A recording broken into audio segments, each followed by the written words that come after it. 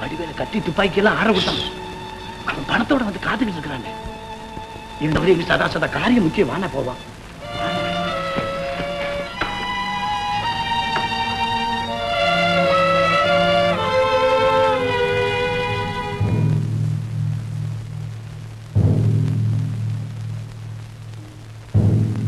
போவான் ரெடி தானே? அதெல்லாம் எப்பவே ரெடி நீதான் வரல இருட்டினதுக்கு அப்புறம் வண்டியோட வந்து எல்லா சாமான் எடுத்துட்டு போயிடு. சரிங்க. அதெல்லாம் நான் பாத்துக்கிறேன். இந்தா. ஏழு எட்டு மணிக்கு வந்துடுறேங்க. சரி நீ புறப்படுங்க பாரு. முனியாண்டி நம்ம ஆளுங்களுக்கெல்லாம் தெரியாம நீ மாத்திரம் அந்த சாமான்கள்லாம் எடுத்து ஒழுங்கா அனுப்பிச்சிடு. அப்படியே.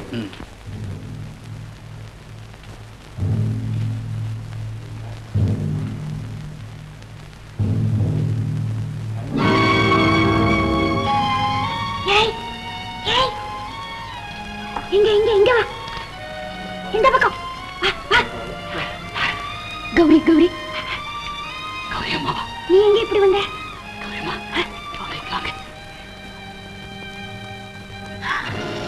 அப்படியா?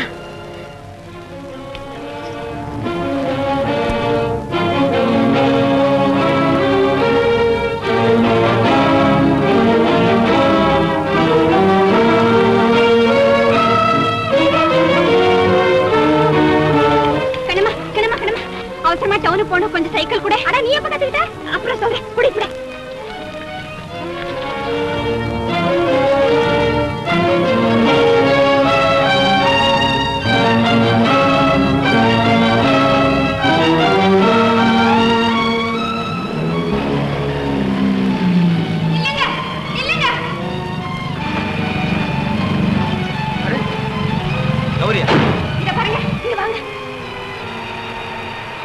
அப்படியா ஆமா.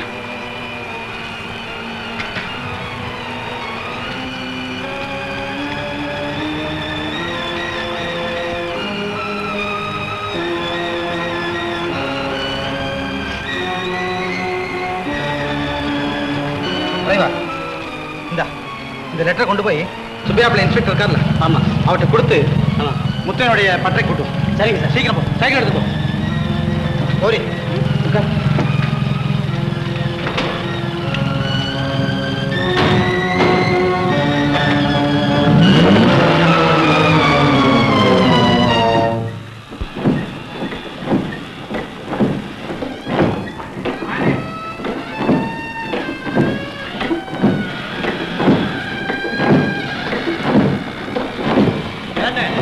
நீனா கௌரி கிட்ட போய் நான் கல்யாணம் கட்டிக்க கல்யாணம் கட்டிக்க எதுக்காக என்ன கேட்டுக்கிட்டு இருக்கு? என்கிட்ட ஒரு வார்த்தை சொல்லுங்க. இப்படியே போய் கௌரியை தூக்கி கொண்டு வந்து உங்க முன்னால நிறுத்துறேன்.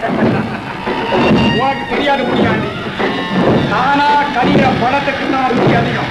அது இல்லாம நான் போட்டு தீர்ப்புக்காக காத்துட்டு இருக்கேன். ஏச்சு என்ன ஆச்சு? முனியாண்டி கொலை செஞ்ச நம்ம ரெண்டு பேரும் இங்க சந்தோஷமா இருக்கிறோம். ஆனா அங்க கோர்ட்ல அண்ணன் தம்பிகளுக்குள்ளார அடிச்சிட்டு கிடக்குறாங்க முட்டா பசங்க எப்படியோ அந்த அம்மா தூக்குல தொங்கத்தான் போறான். நான் கௌரி கழுத்துல தாலி கட்டத்தான் போறேன். நடக்கும் ஆமா முத்தையா நீங்க ரெண்டு பேரும் பேசிக்கிட்டு இருந்தா நான் மறைவில் இருந்து கேட்டேன். நல்ல முறையா சொல்றேன். சிவசாமி கொலை செய்த குற்றத்துக்காக உடனே போலீஸ்ல சரணடைஞ்சு இல்லைன்னா என்னடா செய்வேன்? நீதியின் கண்ணில் இருந்து என் கையிலிருந்து நீங்க தப்ப முடியாது.